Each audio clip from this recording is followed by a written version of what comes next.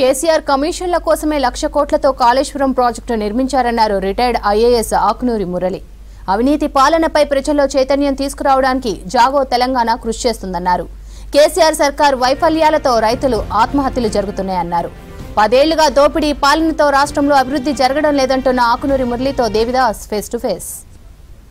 అవినీతి దోపిడీ విద్వేష విభజన పేదల వ్యతిరేక రాజకీయాలపై జాగో తెలంగాణ ఉద్యమిస్తోంది. ఈ దశగా ఆదిలాబాద్ జిల్లా కేంద్రంలో ఈరోజు సమావేశాన్ని చేపట్టింది. ఈ సమావేశానికి మాజీ retired IAS officer Akunuri Murali హాజరయ్యారు. ప్రస్తుతం మనతో మురళి ఉన్నారు. సార్ చెప్పండి ఈ ఆదిలాబాద్ జిల్లాలో సాగునీటి ప్రాజెక్టుల పరిస్థితి దుర్భరంగా ఉంది. కడెం ఆడ కొమరంభీం ప్రాజెక్టుల పరిస్థితి ఆందోళనకరంగా ఉంది. మరోవైపు సాగునీటి ప్రాజెక్టులు పూర్తి కాకుండా చెనక కోరాజు నిర్మల్లో రేపు ప్యాకేజ్ ఇరవై ఏడో కాళేశ్వరం ప్రాజెక్టు ఇరవై ఏడవ ప్యాకేజ్ని ప్రారంభిస్తున్నారు. దీన్ని ఎట్లా చూస్తారు సార్? అంటే ప్రస్తుతము ఈ ప్రభుత్వానికి సంబంధించి ఏంటంటే పాత గవర్నమెంట్ ప్రాజెక్ట్స్ చాలా బాగా ఉన్నా కానీ అవి ఫీజిబుల్ అయినా కానీ అవి ఇంప్లిమెంట్ చేస్తే యాక్చువల్గా కాస్ట్ ఆఫ్ ది ప్రాజెక్ట్స్ తక్కువైనా కానీ సో ఎక్కువ ఆయకట్టు కవర్ అవుతున్నా కానీ పాత ప్రభుత్వాలు మొదలుపెట్టినాయి కాబట్టి మేము చేయకూడదు. మాకు పేరు రాదు అనే ఉద్దేశంతో వీళ్ళు కమిషన్లని దృష్టిలో పెట్టుకొని కమిషన్ల మీద ఆసక్తితోనే ఇప్పుడు కొన్ని కొత్త ప్రాజెక్ట్స్ మన జిల్లాలో ఉమ్మడి జిల్లాలో టేకప్ చేస్తున్నారు. ఇప్పుడు కడిం ప్రాజెక్ట్ ఎంత డేంజరస్ మన అందరికీ తెలుసు. కనీసము మెయింటెనెన్స్ మరమ్మతులకు సంబంధించినటువంటి ఒక యంత్రాంగం కూడా లేదు అంటే ఎంత దారుణమో మనము తెలుసుకోవచ్చు. సో కనబట్టి ఈ గవర్నమెంట్ నిమ్మకు నీరెత్తినట్లుగా అసలు అంటే అసలు నాకు టైం లేదు ముఖ్యమంత్రిగా అనేటట్లుగా ఆయన పట్టించుకోవడం సో అట్లాగే మనము కాళేశ్వరానికి సంబంధించిన ప్రాజెక్టు కూడా నిజానికి మీ జిల్లాలో ఏదైతే పాలమూరు ఆ, పనహిత పనహిత చేవెళ్ళ ప్రాజెక్ట్ ఏదైతే ఉందో దానికి సంబంధించి ఆల్రెడీ పేరు ఏడు వేల ఏడు వేలు ఏడు వేల కోట్ల రూపాయలు ఖర్చు పెట్టి యాక్చువల్ దాన్ని ఇంకా కొంచెము ఇంకొక రెండు వేల కోట్ల రూపాయలు ఖర్చు పెట్టగలిగితే రెండున్నర లక్షల ఎకరాలు మన జిల్లాలో ఉమ్మడి జిల్లాలో చక్కగా పరిపా పారే పారే అవకాశం ఉంది. కానీ దాన్ని ముట్టుకోరు కదా వీళ్ళు.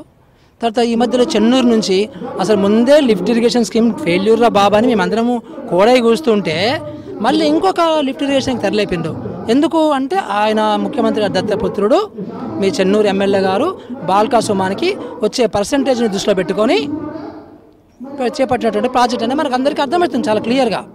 సో యాక్చువల్గా బై గ్రావిటీ ఇప్పుడు ఎస్ఆర్ఎస్పి కింద ఉన్నటువంటి ఇంకొక ప్రాజెక్ట్ ఉంది కదా పాత ప్రాజెక్ట్లో ఆ లెఫ్ట్ కెనాల్కి సంబంధించినది ఉంది కదా దాన్ని టేకప్ చేసే అసలు ఈ లిఫ్ట్ ఇరిగేషన్ సంబంధం అవసరం లేకుండానే బై గ్రావిటీ మీకు బ్రహ్మాండంగా నాలుగు లక్షల లక్షల ఎకరాలు పారేది కదా సో అంటే ఈ రకంగా ఆదిలాబాద్ జిల్లాని ఉమ్మడి ఆదిలాబాద్ జిల్లాని చాలా అన్యాయంగా నీరుపారుదలకు సంబంధించినటువంటి ఆ, పరిపాలన చేస్తున్నట్టుగా కేసీఆర్ మనకు కనపడుతుంది.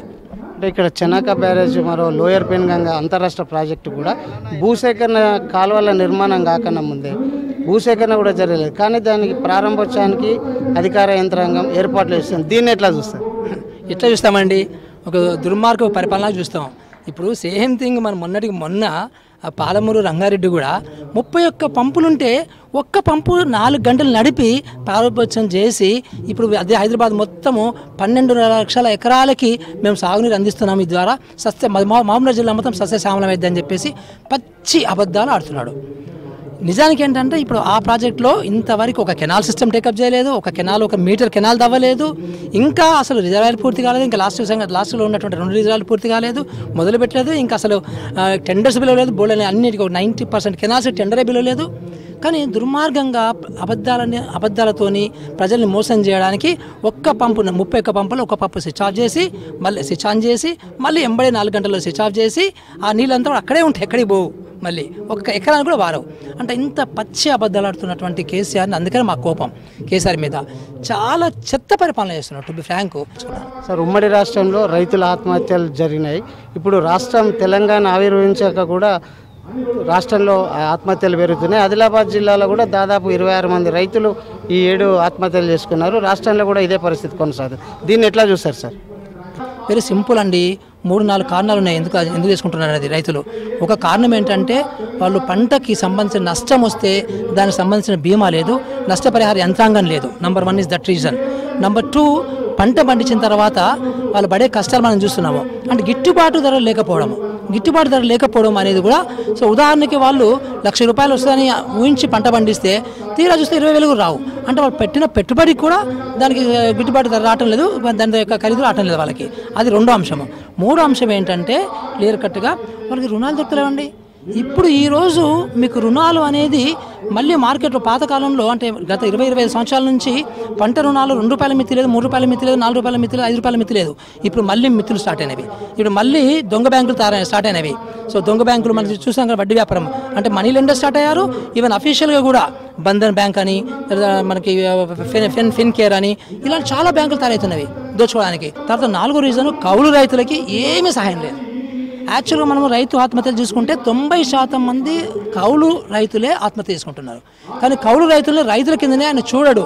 సో అలాంటి ఇంకొక పెద్ద దుర్మార్గత్వము ఈ రాష్ట్రం జరుగుతుంది. ఈ కారణాల వలన నిజానికి రైతులు ఆత్మహత్య చేసుకుంటున్నారు. కానీ ఇతను రైతు ఆత్మహత్య ఎందుకు చేసుకుంటున్నారో వాళ్ళకి ఏమైందో వాళ్ళ కుటుంబాలకు సంబంధించిన అంశాలు కావచ్చు అని పక్కన పెట్టేసేసి హ్యాపీగా ఆయన రాజకీయం ఆయన చేసుకుంటూ వెళ్ళిపోతున్నాడు. జాగవ్ తెలంగాణ ద్వారా అవినీతి సర్కార్పై ప్రజల్లో చైతన్యం తెచ్చే దిశగా తమ పోరాటం సాగుతుందని ఆయన స్పష్టం చేస్తున్నారు. Cameraman విఠల్తో Devidas V six news Adilabad జిల్లా.